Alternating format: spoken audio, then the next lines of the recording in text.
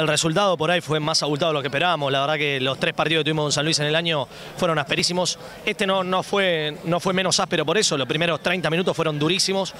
El primer tiempo, te diría, porque lo último lo abrimos. Y después, bueno, se nos dio, la verdad que hicimos un gran partido, fuimos efectivos. Las veces que entrábamos a 22 marcábamos puntos de try, de mol, de alguna jugada, penales.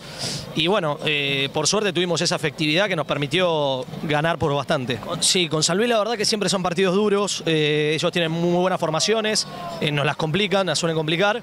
Eh, y bueno, hoy nosotros por suerte pudimos complicarles la de ellos y sacar rédito de nuestros cramos, de nuestro line y mall. Bueno, hay que hacer un partido casi perfecto, ¿no? Con Hindú sabemos todo lo que es, es eh, un rival durísimo, sale campeón casi todos los años, no descubrimos nada, pero bueno, nosotros tenemos que pensar en nosotros, tratar de hacer el mejor partido posible que podamos y, tratar de, ir a buscar la victoria, ¿no? Lógicamente, lógicamente que va a haber un, análisis del rival que tiene muchas muchas variantes, eh, tiene, es muy, muy amplio las virtudes de Hindú, pero bueno, también lógicamente tiene que tener defectos, así que eh, se encargarán los entrenadores de, observarlo y bueno, y vamos a ver si los podemos aplicar y, y hacer de sus defectos virtudes nosotros para sumar puntos, ¿no?